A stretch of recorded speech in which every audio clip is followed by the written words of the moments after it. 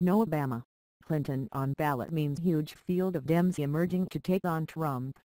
Something rare is happening ahead of the 2020 Democratic presidential primaries.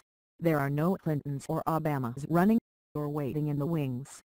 It really is the first time since 1992 there isn't sort of an 800-pound gorilla, said Ray Buckley, chairman of the Democratic Party in New Hampshire, which hosts the first-in-the-nation primary. The absence of a clear frontrunner, in turn, has dozens of Democrats from across the ideological spectrum weighing their options, creating the possibility that the primary season could see upwards of 20-plus candidates vying to take on President Trump two years from now. The good thing is, we just built two or three new hotels in Des Moines, and I think we are going to need them leading up to the caucuses, because there are going to be a lot of candidates.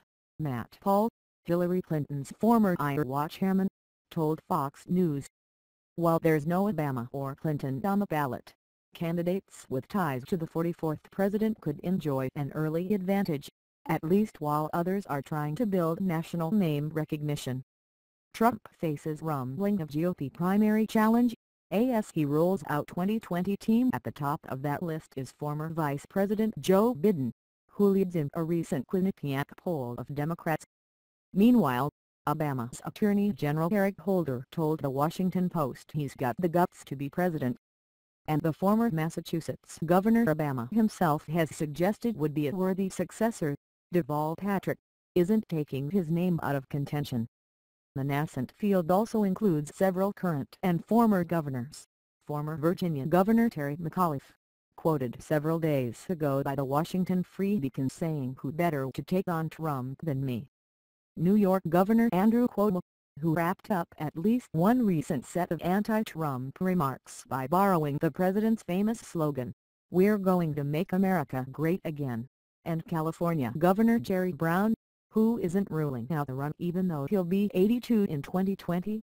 If there's a premium on liberal candidates, though, the governors will face serious competition. Senator Bernie Sanders, IVT, Senator Kamala Harris, D. California, Senator Elizabeth Warren, D. Mass, Senator Sherrod Brown, D. Ohio, Senator Kirsten Gillibrand, D. N. White. Senator Amy Klobuchar, D. Mint, and Senator Cory Booker, D. N. J. All seem to be treating every vote as an opportunity to earn street yard with the party's most liberal voters.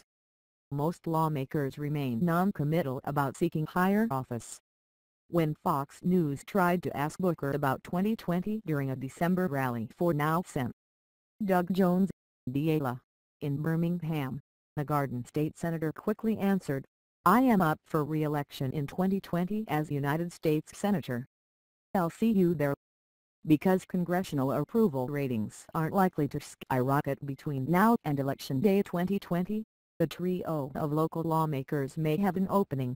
South Bend, and Mayor Pete Buttigieg, Los Angeles Mayor Eric Garcetti, and former New Orleans Mayor Mitch Landrieu. Another group of Democrats has been drawing attention mostly because they've booked flights to New Hampshire or Iowa. Among them, former Missouri Secretary of State Jason Kander, Montana Governor Steve Bullock, former HUD Secretary Julian Castro, Representative Seth Moulton, D. Mass, and Representative John Delaney, DMD. Delaney is the only Democrat to have officially declared his candidacy, and is already running campaign ads. Republican operatives are expressing relief at the crowded field of Trump challengers. With so many people running, Democrats will be tripping over themselves to prove they're liberal enough for their far-left base, RNC spokesman Michael Evans told Fox News in a statement. Most Americans already think the Democratic Party has gotten too extreme and an overcrowded field is only going to make it worse. Experienced Democrats think the GOP's calculus is off, though.